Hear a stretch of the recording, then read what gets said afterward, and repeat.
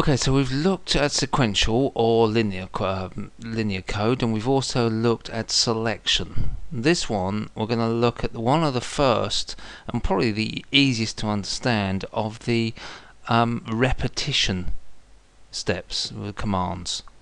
We've got the same things here, submain, dimensioning of uh, a, a variable, in this case an integer, a write line and a read line, but we've then got this for next we've got the variable you're being used here for int counter equals 1 to 10. So we're giving int counter a range from 1 to 10 and it runs from the For to the next command. We've then got an instruction. We could have as many lines of instruction, but in this case we've only got one line in there. We, I say we could have as many lines of code as we wanted in there. What this does is it goes, it's a counter. It counts from 1, runs the code, gets to next, rotates round, and then int count will become 2.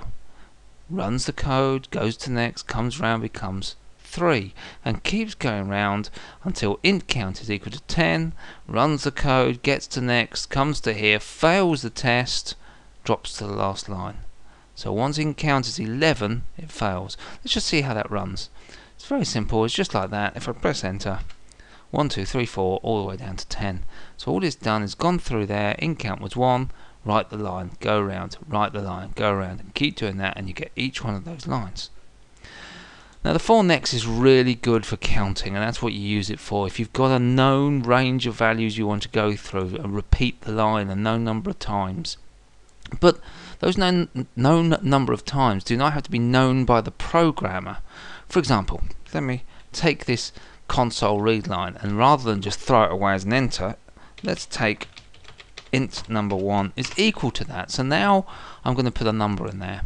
Notice that my int number one has got an error. Why has it got an error? Well actually because it tells you. It's not declared. I need to declare this. This is the nice thing about this editor. It really helps you along to know where your errors are. So I've now declared it. Click away and there we have it. But that allows me to put int number here.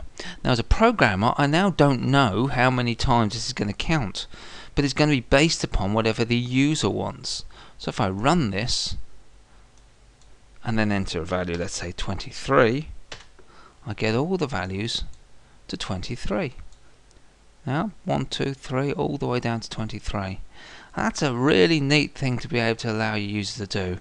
I can set the upper limit quite simply by using a variable. In fact, I can do it for both, for the lower and upper limit. Something else I can do with this as well. I can actually do something like this. This is an additional command for the for next. For this step 2, it's probably easier to show you than actually explain.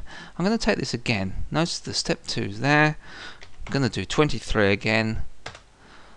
And rather than go 1, 2, 3, 4, 5, it's gone 1, 3, 5, 7, 9. It's actually jumped two places.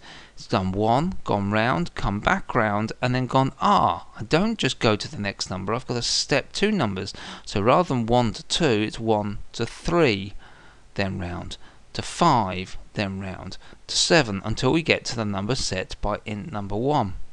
So we can actually have quite a number of little bits and pieces here using this step command. The step command can also come into its own when we do the following.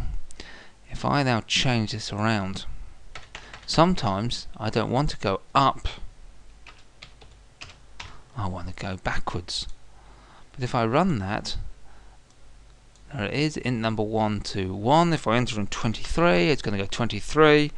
But the computer doesn't know what to do. It doesn't understand that it needs to count backwards. So what we do instead is we tell it step minus 1. So subtract 1 for each step.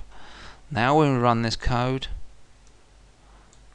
we put 23 in, it then counts backwards for us. And we have 23, 22, 21. That's really useful. That is repetition. Our first repetition. It's worth noting, worth being aware of. It's all there to play with. Okay?